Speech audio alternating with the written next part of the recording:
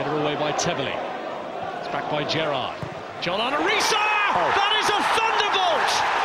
And what a way to make 100% certain that Liverpool are in the semi-finals of the FA Cup. Well, I've seen him hit some wonderful strikes over the years, John Arne Riise. And this is right up there with the best of them. And even there, the Birmingham fans have to applaud the quality of the strike and the right.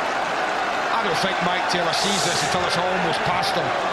They had the ball for a long, long time here, Liverpool, just probing and passing it around, but suddenly he unleashes an absolute stunner. Again, it's this ball that moves through the air. Goalkeeper edges to his left, and before he knows it, it's bending away to his right, and it's past him. Brilliant strike.